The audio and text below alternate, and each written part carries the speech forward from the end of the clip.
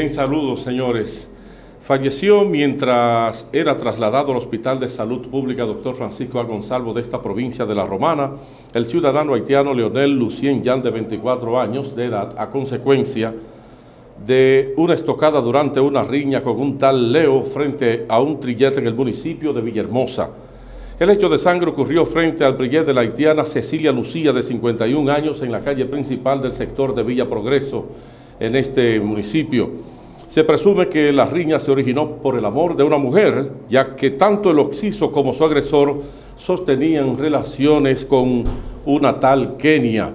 El cadáver de Lucien Yang fue enviado al Instituto de Ciencias Forenses en la ciudad de San Pedro de Macorís para la experticia correspondiente.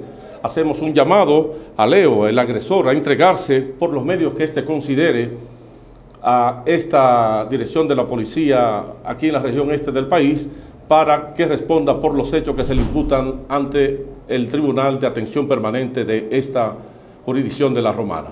Señores, es todo lo que tenemos que informar por el momento. Tengan todos un feliz resto del día.